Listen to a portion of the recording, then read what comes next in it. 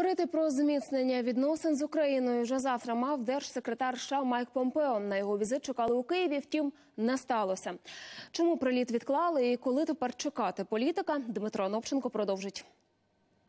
За планом завтрашній день державний секретар Помпео мав би провести у Києві і стати найбільш високопоставленим представником американської адміністрації, який відвідує Україну після скандальної телефонної розмови Трампа і Зеленського. У програмі цього візиту були перемовини із президентом Зеленським, зустрічі із міністрами Пристайком та Загороднюком, лідерами думок, покладання квітів в пам'ять загиблих на Донбасі.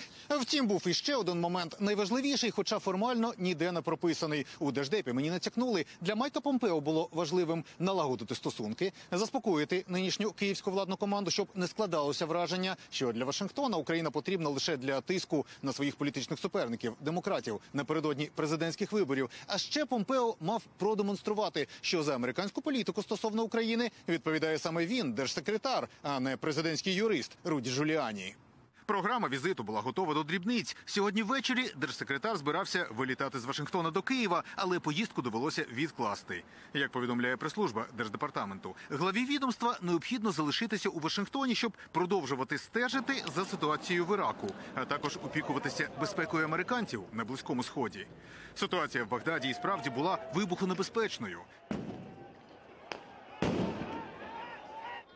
31 грудня в столиці Іраку під стінами американського посольства почалися масові протести після атаки ВПС США на табір шиїцького угруповання Катаїб Хезбулах в прикордонному з місті Ель-Каїм. Тоді, внаслідок авіаударів, загинули 25 людей, понад 50 отримали поранення. І через масові акції амбасаду із 1 січня довелося закрити для відвідувачів і попросити громадян США до неї не наближатися до особливого розпорядження.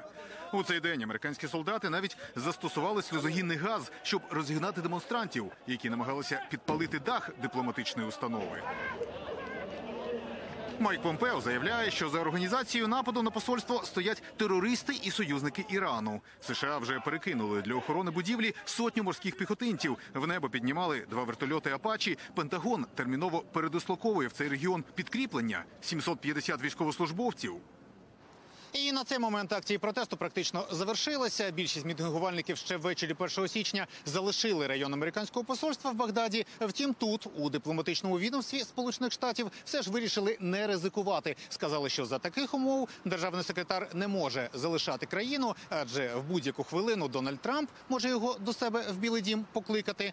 Що стосується чуток про те, що перенесення цього київського візиту, начебто, має політичне підґрунтя, а вони останнім часом ширяться соцмережами, то високопоставлений дипломат, з яким я розмовляв сьогодні вранці, їх спростував.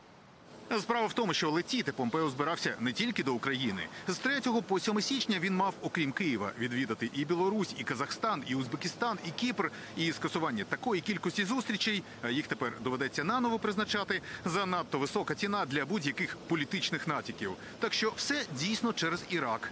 Як повідомляють в держдепі, поїздка Помпео тепер буде перенесена на найближче майбутнє, але нову дату назвати поки не можуть і все ще узгоджують. З Вашингтона Дмитро Анопченко, Сергій Дубінін, американське бюро телеканалу Інтер.